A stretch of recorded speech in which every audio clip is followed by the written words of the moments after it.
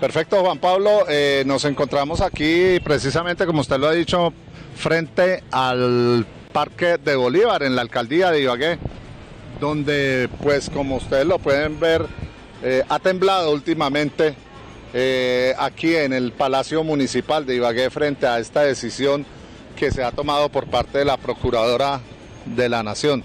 Y tenemos dos invitados a esta hora. Vamos inicialmente a saludar al concejal Flavio William Rosas Jurado, uno de los más antiguos y conocedores del tema del cabildo ibaguereño. Concejal, tenga usted muy buenas tardes, bienvenido a Conoticias y muy amable por estar con nosotros.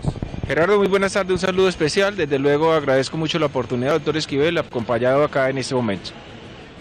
Bueno, su concepto en principio frente a este fallo que ha dado la doctora Margarita Cabello. Bueno, hay tres razones de las cuales quiero resumirlo de una manera muy sucinta. La primera es que en este proceso eh, la Procuraduría concentró lo que corresponde al hecho investigativo, acusatorio y sancionatorio de una sola vez, violando el artículo 29 de la Constitución Política. La segunda, que es el debido proceso, el acceso a la legítima defensa y demás.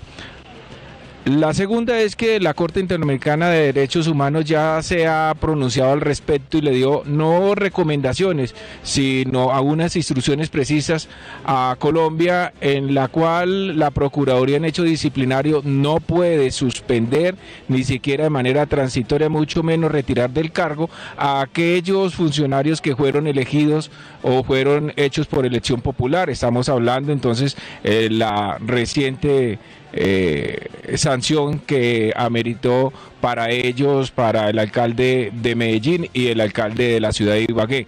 Y la tercera, Creo que la concentración del poder no la podemos nosotros desvirtuar. Acá precisamente ocurre que más parece una obediencia del Ejecutivo Nacional a la parte judicial, aunque no corresponde parte de la judicial, pero la Procuraduría como un hecho de control disciplinable, como un juez natural, ha desvirtuado, por ejemplo, esos dos calificativos importantes como preceptos de nuestra Constitución. Entonces esperemos que esto no se les va a convertir en un boomerang. Eh, normalmente cuando a una persona se le golpea estando en el suelo, lo que hace es recibir mayor apego, mayor eh, fraternidad y solidaridad y de pronto esa campaña, la cual ha sido estigmatizada en la ciudad de Medellín, lo que va a obtener es eh, mayor beneficio. Eh, Juan Pablo, lo escucha el concejal Flavio William Rosas. Concejal William, ¿Qué puede pasar con el alcalde de Ibagué? Se anuncia que en Medellín podría haber tutelatón en favor del alcalde de Medellín.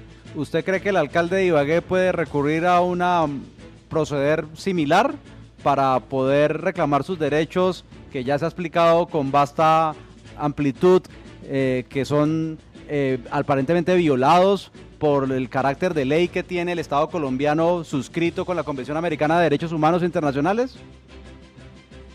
Efectivamente, creo que con una sola tutela reclamando los derechos basta, no hay necesidad de una tutelatón. Pero aquí también es algo que se me olvidó, es en la medida en que vivamos esta incertidumbre, por más tiempo se va a perder la institucionalidad y lo que vamos a perder somos todos los ciudadanos. Estamos hablando de la ciudad de Medellín y la ciudad de Ibagué. Esperemos que un juez de tutela razonable, constitucionalista, pues pueda dar las garantías que prevé en nuestra Carta Magna. Bueno, eh, bueno eh, gracias. ¿qué, piensa de lo que está pasando con la Procuraduría General de la Nación? Hay quienes dicen en medios nacionales que al alcalde de Ibagué lo cogieron fue de chivo expiatorio para poder, como se dice coloquialmente, poder fregar legítimamente a la segunda ciudad de Colombia, Medellín, en contra de Gustavo Petro.